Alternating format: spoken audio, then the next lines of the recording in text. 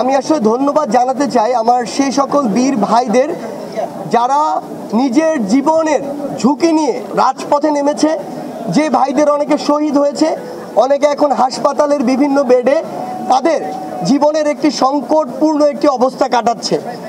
আমরা আমাদের জায়গা থেকে বিশ্বাস করি, এই ভাইরা যদি রাজপথে নেমে তাদের জীবনের ঝুঁকি নিয়ে এই বুকটি পেতে না দিতেন, আর কিছু সুযোগ সন্ধানী মানুষের মতো পিছিয়ে থাকতেন, ঘরে বসে থাকতেন, তাহলে কোনোদিন এই আন্দোলন সফল হতো না।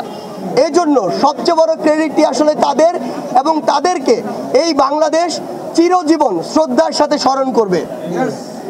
আমি ধন্যবাদ জানাতে চাই চট্টগ্রাম বিভাগের যে সকল প্রতিষ্ঠান, আমি যদি সকল প্রতিষ্ঠানের নামে এই মুহূর্তে বলা সম্ভব নয়, তারপর চট্টগ্রাম বিশ্ববিদ্যালয়, চট্টগ্রাম মেডিকেল কলেজ সহ চট্টগ্রাম শহর কিংবা চট্টগ্রামের শহরের বিভিন্ন প্রতিষ্ঠান যারা একসাথে আসলে এই চট্টগ্রামকে বৈষম্য বিরোধী ছাত্র আন্দোলনের একটি অভেদ্য দুর্গ করে গড়ে তুলেছিল।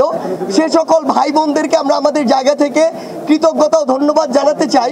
কারণ ঢাকার পরেই চট্টগ্রাম এমন একটি গুরুত্বপূর্ণ শহর, যেই জায়গায় যদি এই বাণিজ্যিক রাজধানীটিকে আন্দোলনের একটি গুরুত্বপূর্ণ ক্ষেত্র হিসেবে গড়ে না তোলা যেত, তাহলে আসলে আন্দোলন সফল হওয়ার যে পথ সেই পথটি এত সহজ হতো না।